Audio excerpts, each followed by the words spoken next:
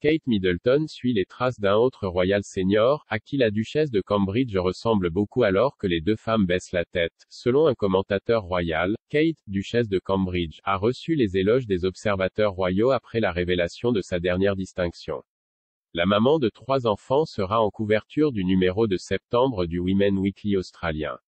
Juliette Eden, rédactrice en chef du magazine, a partagé mercredi la photo de la couverture du numéro sur Twitter. Kate, qui sourit largement dans une robe rose décontractée, a été rapidement célébrée par les fans sur la plateforme de médias sociaux.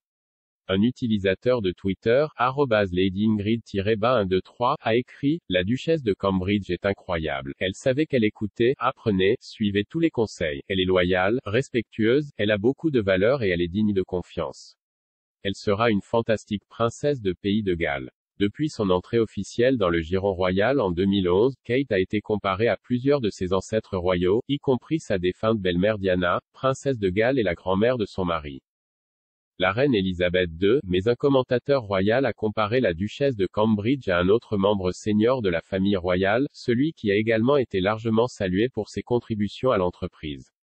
Cameron Walker, journaliste royal à GB News, a fait valoir que Kate ressemblait beaucoup à sa belle-tante, la princesse Anne.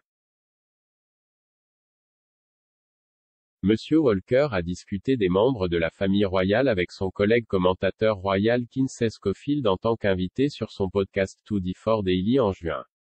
Madame Schofield avait suggéré que la duchesse ressemblait à la reine, mais Monsieur Walker a comparé le monarque à son petit-fils, le prince William, notant leur sens du devoir et l'absence de scandale.